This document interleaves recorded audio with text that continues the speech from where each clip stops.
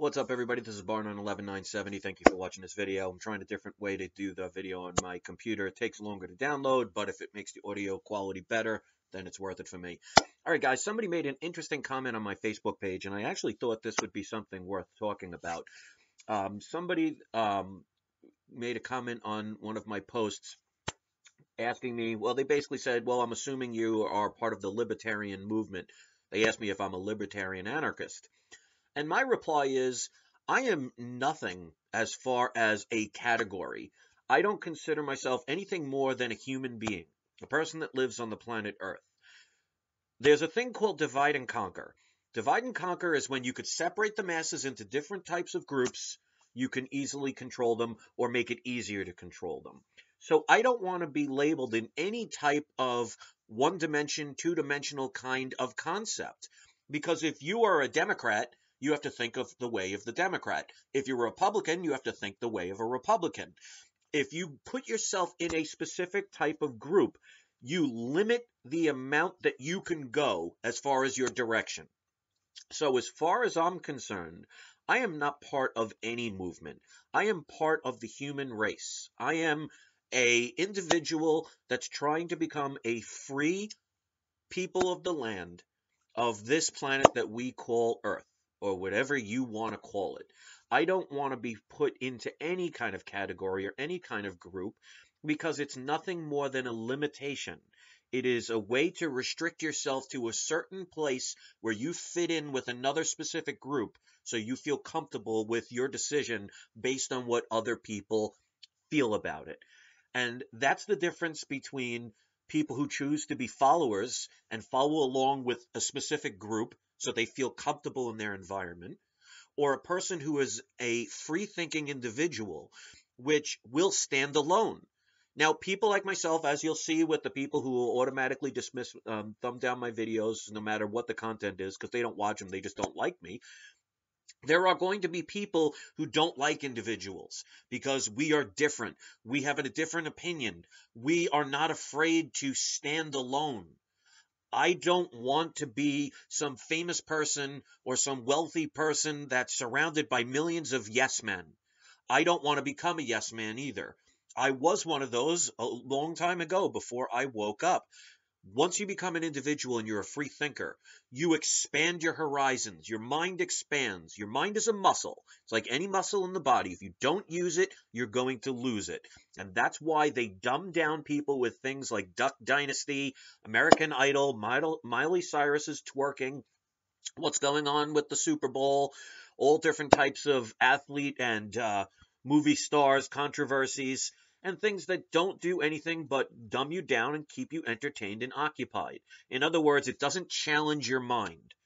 So when that happens and you don't challenge your mind and you don't study and you don't research, you don't expand your ability to process information, to think, to become more wise. So this is what governments are counting on throughout the world. They want you to be entertained. They want you to be distracted. They want you to look over here while we steal your money from over here. They want you to, to automatically dismiss something because it sounds crazy. Because truth is stranger than fiction. They are counting on your ignorance, they are counting on your silence, and they are definitely counting on your fear, and they want you divided and conquered. It's the oldest trick in the book.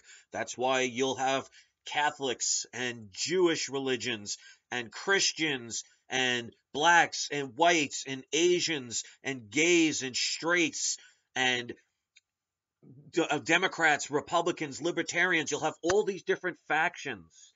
People are for abortions, people are against abortions. Instead of everybody realizing we all have a choice, as long as we don't infringe on the rights of other people, we have the right to do whatever we want. And this is where they lie to us. Like, for example, one of my subscribers asked a very good question. They asked, Who owns the land? Well, nobody owns the land. This is what Native Americans and people like the Mayans and other ancient cultures knew about. And that's why they were slaughtered, because they knew they did not own the land. They lived off the land, they moved around, they kept things in sync with the, with nature and realized that when you die and pass on, you can't take it with you. So nobody can own anything. It is called the right of usage. This includes governments. The way governments get around it is by writing pieces of paper that are called titles or registrations or mortgages or things like that, and they claim ownership, but they don't own the physical land. They just own whatever that document is on that piece of paper. You just think that's what it means. So when they say, oh, you owe a mortgage because we own your property, well, they don't own the property. They just own the certificate that lays claim to it. And until we understand these things, they are going to continue to lie to you, cheat from you, and steal from you. What is slavery? Slavery is when you get people to use their labor for other people to profit from. Well, what are we doing?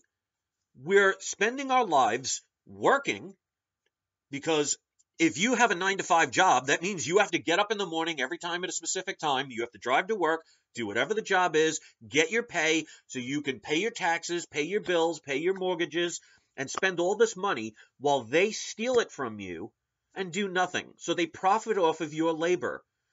The only difference between slaves in the old days and slaves today is slaves in the old days knew they were slaves.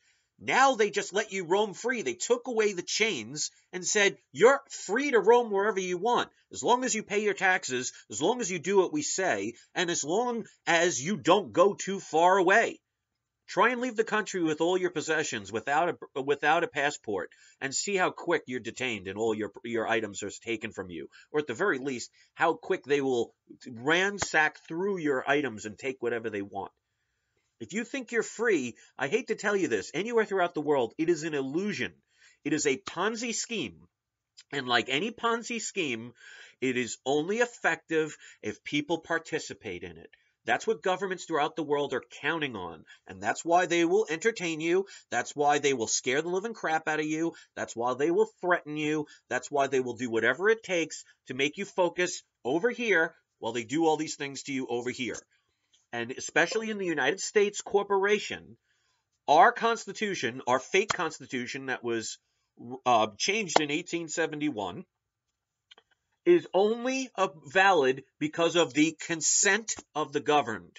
Well, if people don't argue it and they don't dispute it, they are consenting to it, even through their silence. So if people actually realize they don't have to consent anymore and they can actually just walk away because governments need us. We don't need them because all they do is they get what they call money out of thin air, loan it to people that have to work their whole lives to pay it back plus interest, or they will throw you in jail or take away those very items that they actually don't even have the right to own. They've just tricked you. So, do you like being tricked? Do you like being deceived? Do you enjoy all the free carrots they hand you? Look at minimum wage. People think minimum wage when they raise it is a good thing. All they're doing is is taking entry level positions and making the owners of businesses have to pay more money to these people. They are not going to absorb the cost. So what are they going to do? They are going to raise the prices of their products or their services. So so much in fact that the little amount that you get as your raise increase actually you end up spending more money because of all the prices of all the different items and all the different products that have increased because of that fact. But because the Democrats and all these government people want to say what you need to hear, or they're going to say what you need to hear, they're going to tell you how much raising the minimum wage is a wonderful thing. Well, it ultimately destroys an economy because people end up can't not being able to afford the basic necessities because most of the basic necessities that we get come from people who work from entry level positions. So raising the minimum wage does nothing but hurt an economy. But they will trick you because they know that people will just be followers. They'll be led and rah, rah, rah because the whole crowd is going to sit there and you love that feeling of everybody loving you and you don't realize how much it hurts you, it hurts your children, and will destroy your grandchildren's future in the long run.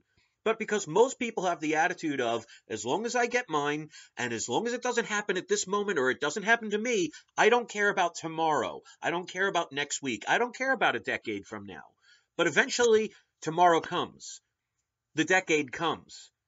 And you notice how things are not getting better, you notice how things are not getting more less expensive, you notice how times are not getting easier, you notice how our freedoms are getting less and less frequent.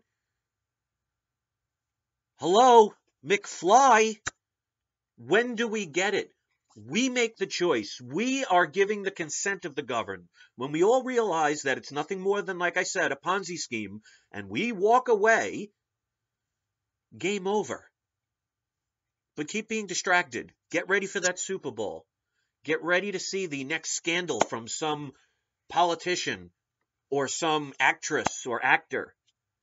Keep being distracted. Watch all those wonderful TV shows that do nothing to expand your mind. If you choose to do that, and it is a choice, you have every right to do that. But then you give up your right to complain. You can't sit there and say, if somebody puts poison in your drink and you're dumb enough to keep drinking it and say, oh, this is disgusting. Oh, I don't like this. Oh my God, it tastes funny, but oh God, I'm really thirsty and I don't want to walk to the other room to get this another drink. And oh God, this is so disgusting and it's probably going to kill me and my stomach is killing me. It's hurting. And you're dumb enough to keep drinking it? Well, don't be shocked if you drop dead. Come on, people. Really? Peace.